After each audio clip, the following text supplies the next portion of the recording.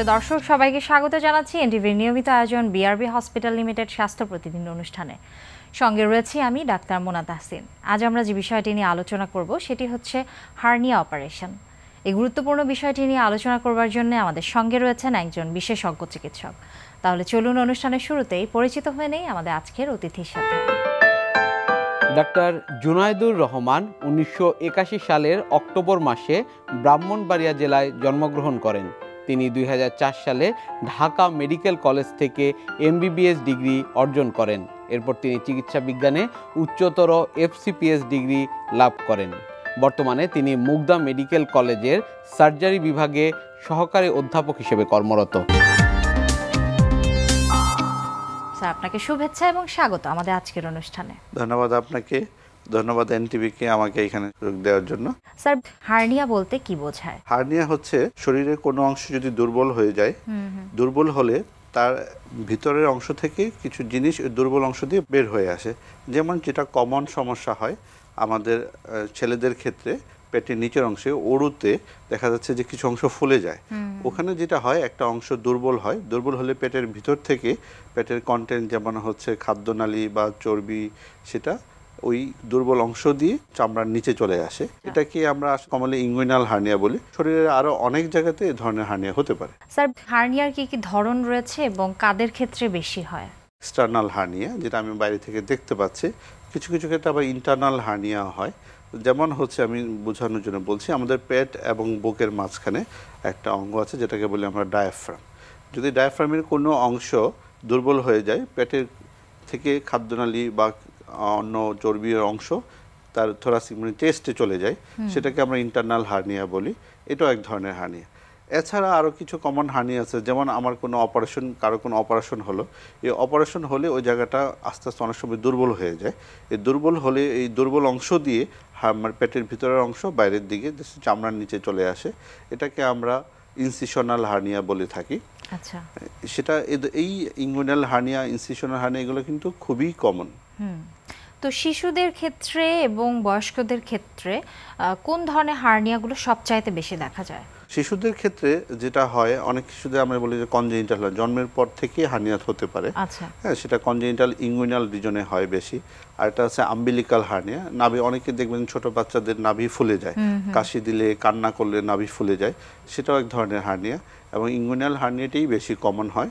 আর বড়দের ক্ষেত্রেও আমাদের ক্ষেত্রে যেটা হয় বিশেষ করে পুরুষের ক্ষেত্রে ইঙ্গুইনাল হানিয়াটা কমন। এখন হানিয়া কাদের বা কেন বেশি হয়?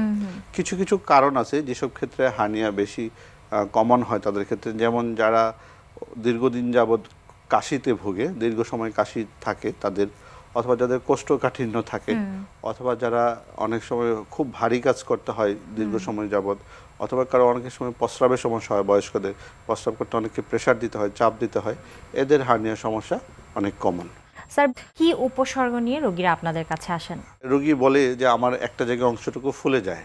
হয়তো আমি শুয়ে থাকলে জিনিসটা চলে যায় আবার যখন আমি কাজ করি বা কাশি দিই অথবা একটু স্ট্রেইন হয় তখন ওই অংশটুকু ফুলে যায়। এই ফোলাটা হচ্ছে তার কমন সমস্যা। এছাড়াও সাথে কিছু পেইন থাকতে পারে। অনেক সময় অনেক বড় হানিয়া হয় তার একটা পেইন থাকে। মূলত এই ফোলা এবং ব্যথা এটা নিয়ে স্বাভাবিক হার্নিয়া প্রেজেন্ট করতে পারে। হ্যাঁ কিছু কিছু ক্ষেত্রে হার্নিয়ার অনেক ভ্যারাইটি আছে। তার মধ্যে অনেক সময় হার্নিয়া হয়। এই যে ফোলাটা সাধারণত কি হয়? আমাকে একটু কাজ করলে বা কাশি দিলে ফুলে আবার ভিতরে ঢুকে যায়। অনেক ক্ষেত্রে জিনিসটা আটকে যায়। যেটাকে আমরা ইরিডিসেবল হার্নিয়া বলি অথবা অনেক সময় এটা আটকে গিয়ে রক্ত চলাচলও বন্ধ হয়ে যেতে পারে ঠিক আছে? সে এবং সেসব হার্নিয়া কিন্তু লাইফ থ্রেটেনিং এটাতে ইমার্জেন্সি অপারেশন করতে হয়। হ্যাঁ সেক্ষেত্রে কিন্তু রোগীর অনেক পেইন ভমিটিং এগুলো নিয়েও কমপ্লেন নিয়েও আসতে পারে আমাদের কাছে। স্যার নারী এবং পুরুষ ভেদে কি আসলে হার্নিয়া হবার কোনো প্রকার ভেদ রয়েছে কিনা বা তারতম্য আছে হ্যাঁ তারতম্য আছে। আসলে তবে আমি যেটা বললাম যেমন ইনসিশনাল হার্নিয়া যেহেতু নারীদের এখন বেশিরভাগ ক্ষেত্রেই সিজারিয়ান সেকশন অপারেশন হচ্ছে কমন তো আমরা পোস্ট সিজারিয়ান সেকশন অনেক হার্নিয়া পাচ্ছি। আর ইঙ্গুইনাল হার্নিয়া যেটা বললাম এটাও ছেলেদেরই বেশি হয়। কিন্তু ফিমোরাল হার্নিয়া বলে একটা হার্নিয়া আছে এটা মেয়েদের ক্ষেত্রে একটু বেশি হতে পারে। স্যার এক্ষেত্রে রোগী যে এই হার্নিয়াটিকে আসলে গুরুত্ব সহকারে দেখবেন বা এর চিকিৎসা করাতে একজন চিকিৎসকের কাছে আসবেন সেক্ষেত্রে আসলে আপনি কীভাবে আমাদের দর্শকদেরকে বার্তা দিতে চান? কি হার্নিয়া যখন হয় প্রথমে যা শুধু একটু ফোলা অংশ থাকে রোগীর তেমন কোনো প্রবলেম থাকে না। রোগীর ডেইলি রুটিন ওয়ার্কে তার কোনো সমস্যা হয় না। এই জন্য সে এটাকে খুব একটা গুরুত্ব দেয় না। কিন্তু হার্নিয়া দীর্ঘদিন থাকলে কি হয়? আস্তে আস্তে অনেক বড় হয়ে যায় এবং ব্যথা হয়। আমি যেটু একটু আগে বলেছিলাম, এই হার্নিয়া যদি কোনো কারণে আটকে যায়, সেখানে রক্ত চলাচল বন্ধ হয়ে যায়, ওই অংশটা কিন্তু গেংরিন বা পচে যায়, তখন কিন্তু রোগীর জন্য একটা প্রাণঘাতী সমস্যা পর্যন্ত হয়ে যেতে পারে। তো আমি সেই জন্যই বলব হার্নিয়া রোগী, যারাই হার্নিয়া সমস্যা আছে আপনারা দ্রুত সার্জারি ডাক্তারের সাথে যোগাযোগ করবেন। এবং এটার একমাত্র চিকিৎসাই হচ্ছে যেহেতু অপারেশন অপারেশন ছাড়া বিকল্প নেই এই জন্য যত দ্রুত সম্ভব অপারেশন করে ফেলবেন। অপারেশন না করলে কি হবে? হার্নিয়াটা বড় হবে এবং বিভিন্ন ধরনের কমপ্লিকেশন অ্যারাইজ করতে পারে। হার্নিয়ার অপারেশন তো এই অপারেশনটি সম্পর্কে আমাদের জানাবেন যে আগে এটি কীভাবে করা হতো এবং বর্তমান প্রেক্ষাপট কি রকম? আসলে হার্নিয়ার চিকিৎসা অপারেশন হ্যাঁ এখন অপারেশন আমরা দুভাবে করি একটা হচ্ছে কেটে করি আর এখনকার যুগে আমরা ল্যাপারোস্কোপির মাধ্যমে হার্নিয়া অপারেশন করছি। যেখানে ল্যাপারোস্কোপির মধ্যে হার্নিয়া অপারেশন করলে হার্নিয়ার কসমেটিক্যালে এটা খুবই ইফেক্টিভ এবং কিছু কিছু অপারেশন আছে যে হার্নিয়া অপারেশন যেটার ল্যাপারোস্কোপির আউটকাম ওপেন থেকে অনেক ভালো। আচ্ছা। অনেক ভালো। এখন ল্যাপারোস্কোপিক হার্নিয়া আমাদের দেশে খুবই প্রচলিত হচ্ছে এখন। আমি দর্শকদের উদ্দেশ্যে বলব আর হার্নিয়া নিয়ে আপনারা ভীত সন্তুষ্ট হওয়ার কোনো কারণ নেই। সার্জারির সাথে সার্জারি ডাক্তারের সাথে যোগাযোগ করুন। আপনারা অপারেশন করিয়ে নিতে হবে। শিশুদের ক্ষেত্রে কোন সময় অপারেশন করা যেতে পারে এবং কতটা আসলে রিস্ক মুক্তভাবে আপনারা এই অপারেশনগুলো করছেন? আসলে কিছু কিছু বাচ্চাদের হার্নিয়া আছে। আহ, যেগুলোর ক্ষেত্রে আমরা হয়তো কিছুটা ওয়েট করতে পারি। যেমন আম্বিলিকাল হার্নিয়া কিছু কনজেনিটাল হার্নিয়ার সাথে হাইড্রোসিল থাকে। এগুলো আমরা বলি অনেক সময় যে দুই বছর বয়স পর্যন্ত আপনার ওয়েট করা যেতে পারে। অনেক সময় স্বাভাবিক প্রক্রিয়ার মাধ্যমে হার্নিয়াটা সেরে যেতে পারে। কিন্তু যে হার্নিয়াটা দুই বছরের মধ্যে বিশেষ করে যেমন আম্বিলিকাল হার্নিয়া আছে বা কনজেনিটাল হাইড্রোসিল আছে যে দুই বছরের মধ্যে যদি ঠিক না হয় তাহলে সেটা ঠিক হবে না। সেটার জন্য অপারেশন করতেই হবে। আর স্বাভাবিকভাবে বাচ্চাদের ক্ষেত্রে বাবা মারা একটু বেশি চিন্তিত থাকে। এখন আমাদের অ্যানাস্থেশিয়া ডিপার্টমেন্ট অনেক রিচ অনেক আধুনিক এবং ওরা খুব সাবধানতার সাথে অ্যানাস্থেশিয়া দিয়ে থাকেন জন্য আমরা খুব সুন্দরভাবেই হানিয়ার অপারেশন বাচ্চাদের করতে পারি। অপারেশনগুলো আসলে কতদিন সময় নিয়ে প্রিপারেশন নিতে হয় এবং pre operative operative post operative কি অবস্থার মধ্যে দিয়ে যেতে হয় এবং কতদিনের মধ্যে স্বাভাবিক হতে পারেন? আসলে হার্নিয়ার অপারেশন এটা তো ইমার্জেন্সি অপারেশন না। যদি এটা না আটকিয়ে যায় বা ইমার্জেন্সি ডেভেলপ না করে, রুটিন অপারেশন এটা সাধারণত আমরা অপারেশন যখন করি, কিছু ইনভেস্টিগেশন করতে হয় তাকে অ্যানাস্থেশিয়ার ফিটনেসের জন্য।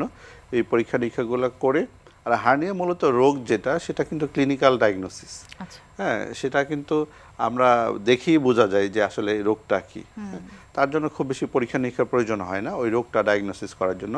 আমরা যে পরীক্ষাগুলো করাই তাকে অ্যানাস্থেশিয়ার ফিটনেসের জন্য যে পরীক্ষাগুলো প্রয়োজন সেগুলোই করানো হয়। আচ্ছা।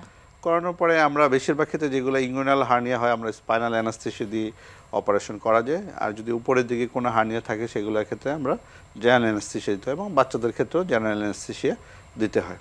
আর হার্নিয়া অপারেশনের পরে মজার ব্যাপার হচ্ছে, হাসপাতালে এক থেকে দুই দিন থাকলেই যথেষ্ট। বাসায় চলে যেতে পারেন রোগীরা। হ্যাঁ হার্নিয়ার পরে যেটা খুব বেশি আমরা সাবধানতা অবলম্বন করতে বলি, কিছু নিয়ম কানুন পেশেন্টকে অবশ্যই মানতে হবে।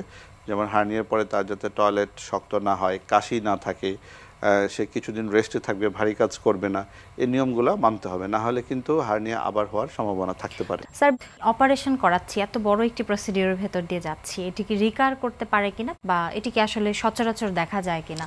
রিকারেন্স রেট ডিপেন্ড আপন হচ্ছে আপনার তার হার্নিয়ার টাইপের উপরে আচ্ছা। আর হচ্ছে তার নেক্সট লাইফ স্টাইলের উপরে হ্যাঁ?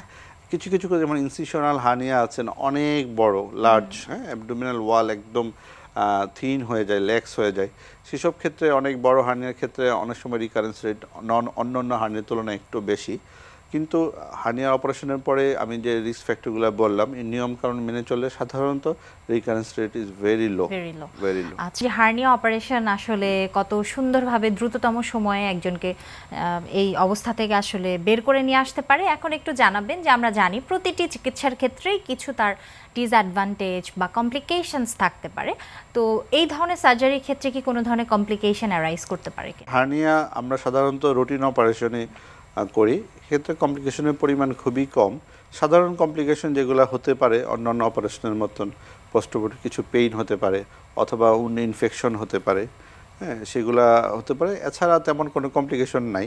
আর হার্নিয়া অপারেশন যেটা হয়, আমরা সাধারণত এখন যে অপারেশন করা হয়, একটা ম্যাশ রিপেয়ার বলি আমরা একটা বিশেষ ধরনের একটা জালির মতন ব্যবহার করে প্রলিন মেশ এবং এই মেশ রিপেয়ার যেহেতু করা হয়, এক্ষেত্রে আমাদেরকে খুব সাবধানতা অবলম্বন করতে হয় যাতে এখানে কোনো ধরনের ইনফেকশন না হতে পারে। কারণ ইনফেকশন হলে কিন্তু সমস্যা এই মেশটুকু কিন্তু তখন আর ওইখানে ঠিকভাবে থাকে না সাপোর্ট থাকে না। অনেক সময় কিছু কিছু ক্ষেত্রে ইনফেকশন হলে মেশ আমাদেরকে খুলেও ফেলতে হয়। আচ্ছা। সো দ্যাট এই জন্য অপারেশন পরবর্তী সময় যাতে ইনফেকশন না হয় সেজন্য আমাদেরকে খুব সাবধান থাকতে হবে। থাকতে হবে। স্যার এমার্জেন্সি কন্ডিশন যদি ডেভেলপ করে স্ট্র্যাঙ্গুলেটেড হার্নিয়া কিংবা যদি গ্যাংগ্রিন ডেভেলপ করে সেক্ষেত্রে তাৎক্ষণিকভাবে কি করণীয় রয়েছে? যেটা স্ট্র্যাঙ্গুলেটেড হার্নিয়া বা যদি গ্যাংরিন হয়ে যায় এটা রোগীর জন্য খুবই বিপজ্জনক এবং কিছু কিছু ওই রোগীরা কী সিমটম নিয়ে আসে সেটা আমি একটু ক্লিয়ার করি। রোগী দেখাচ্ছে যে জিনিসটা হার্নিয়াটা আগে ফুলতো আবার ভিতরে ঢুকে যেত। কিন্তু রোগী কমপ্লেন করবে এটা আমারটা ফুলে গেছে আর ভিতরে ঢুকছে না এক নম্বর দুই নম্বর হচ্ছে রোগীর ব্যথা হবে এবং ব্যথাটা আস্তে আস্তে বাড়বে। এটা একটা সমস্যা। থার্ড ওয়ান হচ্ছে তো পেশেন্টের বমি নিয়ে আসতে পারে এবং যদি গ্যাংরিন বা স্ট্যাংগ্রেট হয় সাথে জ্বরও থাকতে পারে হ্যাঁ? তো এইসব ক্ষেত্রে আপনি যেটা বলছিলেন এটা কিন্তু ইমার্জেন্সি কন্ডিশন রোগীকে সাথে সাথে হসপিটালাইজ হতে হবে এবং তাকে জরুরি অপারেশনে যেতে হবে। এছাড়া আচ্ছা। বিকল্প কোনো উপায় নেই। জি। স্যার তো হার্নিয়া প্রিভেনশনের জন্য বা প্রতিরোধ করবার জন্য কোনো বিশেষ পরামর্শ আপনার রয়েছে কিনা? আসলে হার্নিয়া প্রতিরোধের জন্য যেটা পরামর্শ সেটা একই জিনিস। আমি যেটা আগেও বলেছি যে কিছু যে নিয়ম কানুনগুলো যে রিস্ক ফ্যাক্টরগুলোর জন্য হার্নিয়া হতে পারে সেই রিস্ক ফ্যাক্টরগুলো অ্যাভয়েড করতে হবে। যদি কারও দীর্ঘদিনের কাশি থাকে কোষ্ঠকাঠিন্য থাকে অথবা সে যদি খুব ভারী কাজ করেন তাহলে তার এই জিনিসগুলোকে অ্যাভয়েড করতে হবে। হ্যাঁ এবং সে যদি কোনো ধরনের কোনো সিমটম মনে করে তাহলে অতি সত্ত্বর তার রিস্ক ফ্যাক্টরগুলোকে অবশ্যই আমলে আনে সেভাবে তার। সেভাবে চিকিৎসা করতে হবে তার। আমাদের অনুষ্ঠানে একটি নিয়মিত সেগমেন্ট হচ্ছে আমরা বিভিন্ন খাদ্যের পুষ্টি গুণাগুণ আমাদের দর্শকদের দেখিয়ে থাকি সেটি এখন দেখে আসব। সুপ্রিয় দর্শক, দেখছেন বিআরবি হসপিটাল লিমিটেড স্বাস্থ্য প্রতিদিন অনুষ্ঠানে। এ পর্যায়ে চলুন দেখে নেই বিভিন্ন খাদ্যের পুষ্টি গুণাগুণ সম্পর্কে আমাদের পুষ্টিবিদের কাছে কনস্টিপেশনের সমস্যা, যদি দেখা যায় যে আমাদের কারও যদি কোষ্ঠকাঠিন্য বা কনস্টিপেশন তিন মাসের বেশি হয়ে থাকে, সেক্ষেত্রে তো আমাদেরকে অবশ্যই খাবারের পাশাপাশি ডক্টরকে দেখাইতে হবে বা প্রোবায়োটিক বা আদার্স কোনো মেডিসিন লাগলে সেগুলো তো অবশ্যই নিতে হবে। কারণ কনস্টিপেশনকে বা কোষ্ঠকাঠিন্যকে মাদার অফ ডিজিজ বলা হয়ে থাকে। কারণ আমাদের গাট ফাংশনটাই কিন্তু মেন আমাদের কোনো কারণে যদি আমাদের গাটটা ক্লিয়ার না হয়, তখন দেখা যায় যে এখান থেকে বিভিন্ন ধরনের সমস্যার সৃষ্টি হয়ে থাকে। কোষ্ঠকাঠিন্যের জন্য সবচেয়ে প্রথমে যেটা বলব, আপনাকে অবশ্যই তিন লিটার পানি প্রতিদিন মেকশিওর করতে হবে, তিন থেকে সাড়ে তিন লিটার। এরপরে যদি আসি খাবারের ক্ষেত্রে, সেক্ষেত্রে অবশ্যই আমরা হাই ফাইবারযুক্ত যে খাবারগুলো রয়েছে, সেগুলো আমরা আমাদের খাদ্য তালিকায় রাখব। হাই ফাইবার খাবারগুলো আমরা সাধারণত ফল, বিভিন্ন ধরনের লিফি ভেজিটেবল সালাদ থেকে পেয়ে থাকি। সেক্ষেত্রে আমাদেরকে চেষ্টা করতে হবে গ্রিন লিফি ভেজিটেবল যেগুলো রয়েছে বা সালাদ রয়েছে, এগুলো আমাদের খাদ্য তালিকায় পর্যাপ্ত পরিমাণে রাখতে। গ্রিন লিফি ভেজিটেবলের মধ্যে হচ্ছে বিভিন্ন ধরনের শাক সবজি রয়েছে, সবুজ যে পাতা জাতীয় যে সবজিগুলো রয়েছে, প্রতিদিন চেষ্টা করবেন যে পাঁচ থেকে সাত কাপ সবজি যেন আপনার খাদ্য তালিকায় থাকে। যাদের কনস্টিপেশন সমস্যা যারা আমরা ভুগছি। সব ফলেই ভালো পরিমাণে ফাইবার থাকে, সেক্ষেত্রে আপনাকে অবশ্যই কিছু বিশেষ ফল রয়েছে, যেগুলো আমরা ফল আকারে বা হচ্ছে যদি আমরা জুস আকারেও খাই, সেগুলোও কিন্তু আমাদের কোষ্ঠকাঠিনের ক্ষেত্রে অনেক বেশি উপকারী। বিশেষ করে বেলের শরবত, তারপরে হচ্ছে পেঁপের শরবত যদি আমরা আমাদের খাদ্য তালিকায় রাখি, সেটা কিন্তু আমাদেরকে কোষ্ঠকাঠিন্য থেকে খুব বেশি হেল্প করে থাকবে। এরপরে যে বিভিন্ন ধরনের ড্রিঙ্কস বা সাপ্লিমেন্টারি বলা হয়, সেক্ষেত্রে ইসুবুল রয়েছে তোকমা রয়েছে চিয়াসিড রয়েছে যেগুলো কিন্তু আমাদেরকে খুব ভালো পরিমাণে ফাইবার দিয়ে থাকে। সো এই খাবারগুলো যদি আমরা শরবত আকারে যারা সিভিয়ার বা ক্রনিক কনস্টিপেশনের সমস্যায় রয়েছেন, তারা যদি দিনে দুইবার এই ধরনের খাবার খাদ্য তালিকায় রাখেন, তারা কিন্তু খুব দ্রুত কোষ্ঠকাঠিন্য থেকে মুক্তি পেতে পারেন। সেক্ষেত্রে আমরা কখনো চিয়াসিডে বিশ মিনিট ভিজিয়ে রেখে এক চামচ ইসুবুল মিক্সড করে খেতে পারি, বা তোকমা দানা দশ মিনিট ভিজিয়ে রেখে সাথে ইসুবুল মিক্সড করেও কিন্তু আমরা শরবত আকারে খেতে পারি। এরপরে রয়েছে বিভিন্ন ধরনের বাদাম, যেগুলো থেকে আমরা খুব ভালো পরিমাণে ইসেন্সিয়াল যে ফ্যাটি অ্যাসিডগুলো রয়েছে, সেগুলো কিন্তু আমরা খুব সহজেই পেয়ে যাই। এগুলো কিন্তু আমরা কোষ্ঠকাঠিন্য থেকে মুক্তি পেতে আমাদের খাদ্য তালিকায় রাখতে পারি। এছাড়া আম, আমে খুব ভালো পরিমাণে আমরা ফাইবার পেয়ে থাকি, কোষ্ঠকাঠিন্যের জন্য আম খুব ভালো। এছাড়া বেলের শরবত রয়েছে পেঁপের শরবত রয়েছে, বা পেঁপে যদি আমরা নর্মালিও খাই, সেটাও কিন্তু কোষ্ঠকাঠিন্য থেকে আমাদেরকে রক্ষা করে। এছাড়া কলাতেও আমরা খুব ভালো পরিমাণে ফাইবার পেয়ে থাকি। এছাড়া হচ্ছে আপনার পেয়ারা, পেয়ারাতেও খুব কোষ্ঠকাঠিন্যের জন্য অনেক ভালো একটা ফল। এরপরে আমরা হচ্ছে দুধ দিয়ে সাবুদানা রান্না করে খেতে পারি, যেটা আমাদের বাত পায়খানাকে নরম করতে সাহায্য করে থাকে। এছাড়া দেখা যায় যে প্রোবায়োটিক আমাদের গাট ব্যাকটেরিয়ার জন্য খুব ভালো। আমরা যদি ন্যাচারাল সোর্স বলে থাকি, সেক্ষেত্রে হচ্ছে দই হচ্ছে প্রোবায়োটিকের খুব ভালো একটা উৎস। সো আমরা যদি আমাদের খাদ্য তালিকায় প্রতিদিন দই রাখি, সেক্ষেত্রেও কিন্তু আমরা কনস্টিপেশন থেকে নিজেদেরকে রক্ষা করতে পারব। এছাড়া দইয়ের সাথে যদি আমরা একটু পুদিনা পাতা মিক্সড করে খাই, সেটাও কিন্তু আমাদের ডাইজেশনের জন্য অনেক ভালো। আমাদেরকে ডাই আমাদের ডাইজেশন পাওয়ারটাকেও কিন্তু অনেক ভালো রাখতে হবে। আমরা কি খাচ্ছি, সেটাও কিন্তু কোষ্ঠকাঠিন্যের জন্য খুবই গুরুত্বপূর্ণ। তার মধ্যে প্রধান হচ্ছে ব্যালেন্স ডায়েট আমরা যদি ব্যালেন্স ডায়েট করে মেনটেন করে চলি, আমাদের কিন্তু এই ধরনের সমস্যা হবে না। তো দেখা যায় যে আমরা অনেক সময় ম্যাক্সিমাম টাইমে অনেক বেশি বাইরে জাঙ্ক ফুড প্রসেস ফুড ভাজা পোড়া খাবার খেয়ে ফেলি। যেগুলোতে ফাইবার বা ওই ধরনের ভিটামিন মিনারেলস কিন্তু আমরা পাই না, যেগুলোতে অনেক বেশি ক্যালোরি রিচ হয়ে থাকে কার্বোহাইড্রেট রিচ হয়ে থাকে। এছাড়া প্রোটিন জাতীয় খাবার যদি আমরা অতিরিক্ত খেয়ে ফেলি, সেক্ষেত্রেও কিন্তু দেখা যায় যে কোষ্ঠকাঠিন্যের মতো সমস্যা দেখা দেয়। এরপরে অনেক বেশি যারা গ্রিন টি পান করেন বা চা কফি বিশেষ করে মিল্ক কফি খাওয়া হয় বা চা খায়, দিনে অনেক বেশি চার পাঁচ কাপের তাদের ক্ষেত্রেও কিন্তু কোষ্ঠকাঠিন্য সমস্যা দেখা দিতে পারে। সো যারা কোষ্ঠকাঠিন্যের মতো সমস্যায় ভুগছেন, তাদেরকে অবশ্যই গ্রিন টি বা চা যদি খায়, দুই কাপের বেশি না, কিন্তু সেক্ষেত্রে অবশ্যই চেষ্টা করতে হবে। আমরা যাতে পর্যাপ্ত পরিমাণ পানি পান করছি কিনা, সেটা কিন্তু আমাদেরকে খেয়াল রাখতে হবে। এবং কোনোভাবে আমাদের বডিকে ডিহাইড্রেট রাখা যাবে না। হাইড্রেট সবসময় হাইড্রেট থাকতে হবে। পর্যাপ্ত পরিমাণ পানি পান করতে হবে। প্রচুর পরিমাণ শাকসবজি, ফল, খাদ্য তালিকায় রাখতে হবে।